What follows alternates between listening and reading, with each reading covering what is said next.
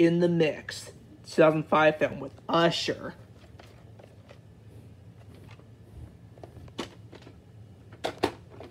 Lionsgate Films co-produced with 20th Century Fox. Here's a tape with the ink label. Print date is January 21st, 2006.